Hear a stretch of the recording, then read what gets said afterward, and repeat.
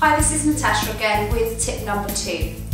So accreditation. There are various accrediting bodies, but the most important thing is that the course is accredited and that it meets the 120 hour requirement.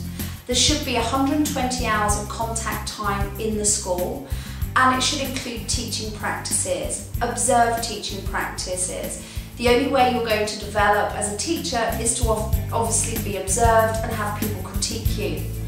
Now there are many online courses and they are fantastic. They are fantastic as an introduction to TEFL, but don't be fooled into thinking that they can substitute the actual realities of being in a classroom, being critiqued, etc. So look out for the accreditation and make sure you check with the accrediting bodies. There are some scams unfortunately out there and we don't want to be caught.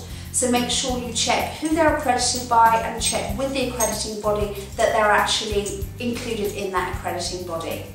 Thank you.